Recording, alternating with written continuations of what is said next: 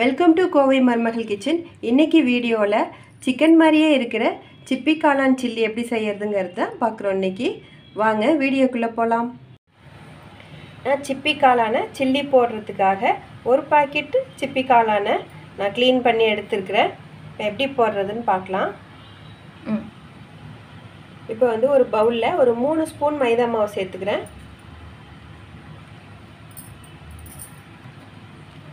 இப்போ கார்ன்ஃப்ளவர் மாவு ஒன்றரை ஸ்பூன் சேர்த்துக்கலாம்.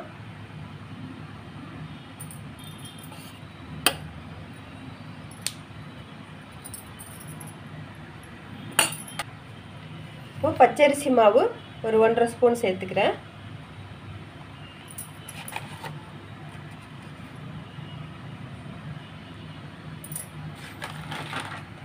இப்போ இஞ்சி பூண்டு பேஸ்ட்டு ஒரு ஸ்பூன் நல்ல பெரிய ஸ்பூனில் ஒரு ஸ்பூன் எடுத்துக்கிறேன்.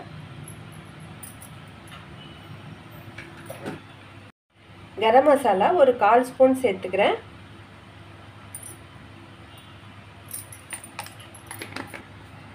பெப்பர் பவுடர் ஒரு அரை ஸ்பூன் சேர்த்துக்கிறேன். இப்போ சில்லி பவுடர் அரை ஸ்பூன் சேர்த்துக்கிறேன். இப்போ கால் ஸ்பூன் உப்பு சேர்த்துக்கலாம்.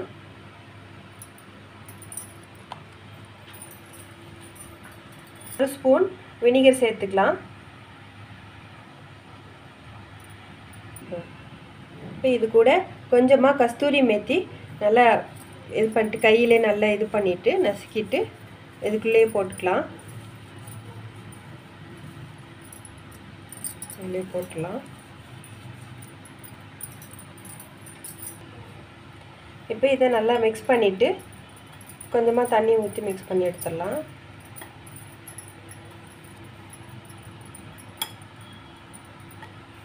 இப்போ கொஞ்சம் தண்ணி ஊற்றி மிக்ஸ் பண்ணிக்கலாம்.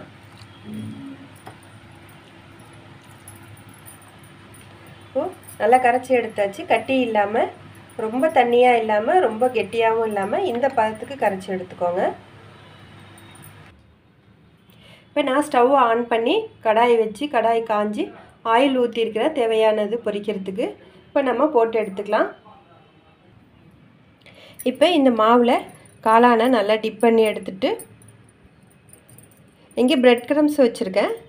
இதுலேயும் போட்டு புரட்டி எடுத்துகிட்டு இப்போ நம்ம ஆயிலில் போட்டுடலாம்.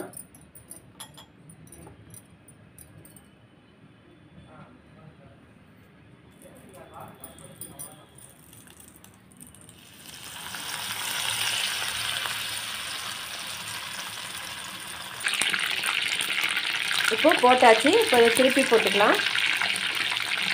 பாருங்கள் இந்த சைடு நல்லா கோல்டன் கலர் வந்துருக்கு. அதே மாதிரி எல்லாத்தையும் திருப்பி போட்டுக்கலாம் ஒன்று ஒன்றா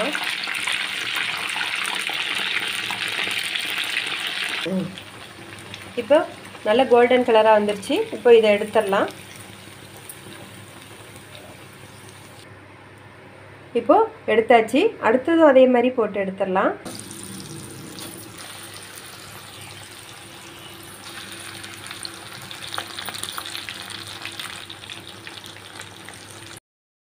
இப்போ எல்லாத்தையும் போட்டு எடுத்தாச்சு.